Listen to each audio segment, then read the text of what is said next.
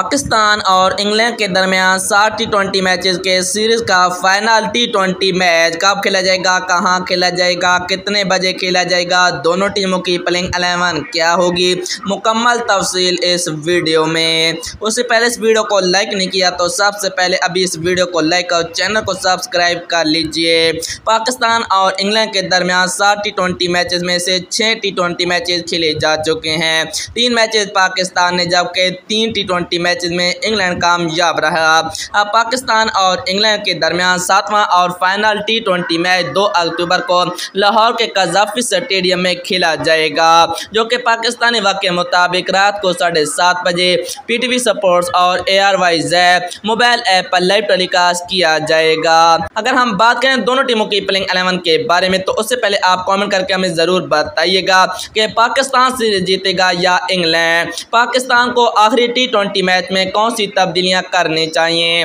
अगर हम बात करें इंग्लैंड की प्लेइंग अलेवन के बारे में तो जोस बटलर सिर्फ़ पाकिस्तानी शायकीन के लिए खेल सकते हैं अलेक्स हेल की जगह पर, जबकि उनका साथ देने दूसरे के तौर पर फेसार